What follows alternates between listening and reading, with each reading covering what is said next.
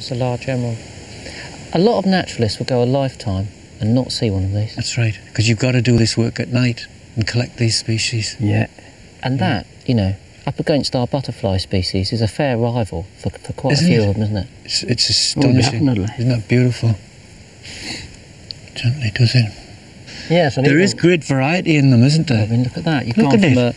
a, you know, a, a brown animal that's sitting in a sullen fashion, hoping not to be spotted by anything, Mm. to this, which is a almost a, a piece of jewellery, isn't it? Mm.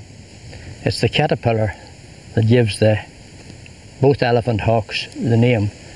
The caterpillar has a long tail reminiscent of a, an elephant's trunk, so hence the name elephant hawk.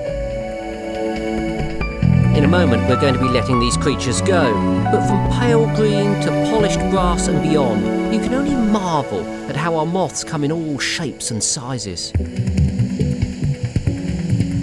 But a lot of people don't like moths. They don't like all the buzzing around that they do at night.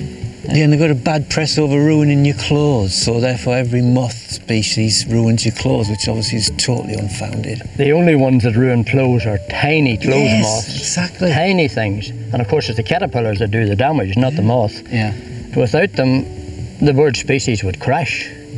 Well, the tit species, blue tits. The great tits Yeah, what would they eat? Well, their, their whole breeding program is geared up to, you know, the, the availability of moth caterpillars, That's isn't it? Superb. Well, there we are. Another great night's mothing.